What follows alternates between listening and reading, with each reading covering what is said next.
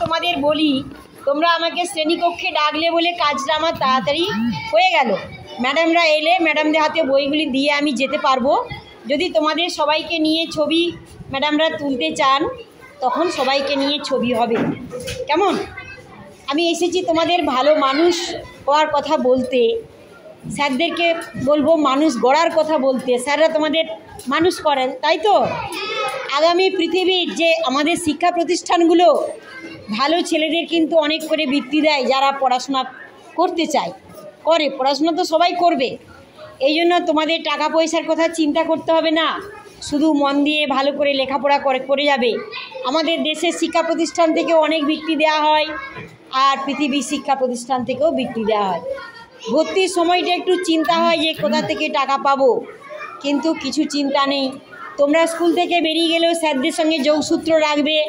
স্যারদেরও সেই কথা বলে যাব। হ্যাঁ? তাহলে কি হবে?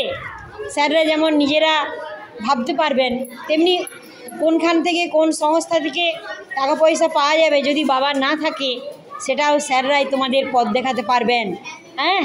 এবং স্যাররাই ব্যবস্থা করতে পারবেন। এই সব কথা জানাতে আমি স্যারদিকে অনুরোধ করতে আমি বেরিয়েছি, আর তোমাদেরকেও তাই জানাতে যে তোমরা ভালো করে লেখাপড়া করে যাও। ভালো মানুষ হও। আগামী পৃথিবীটাই তোমরা নেতৃত্ব দেবে। তোমরা হবে ডাক্তার, ইঞ্জিনিয়ার, তোমরাই হবে শিক্ষক, অধ্যাপক, হবে তো?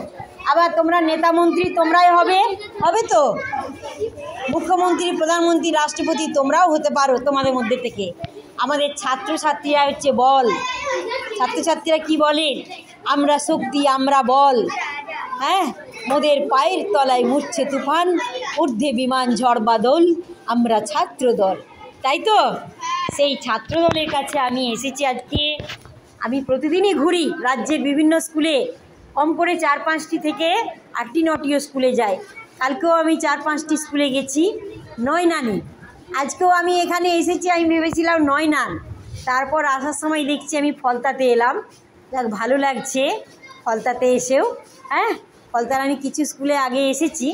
খুব ভালো লাগছে আমার তোমাদের কাছ থেকে। আমি এরপরে আবার এখান থেকে নয় নান যাব।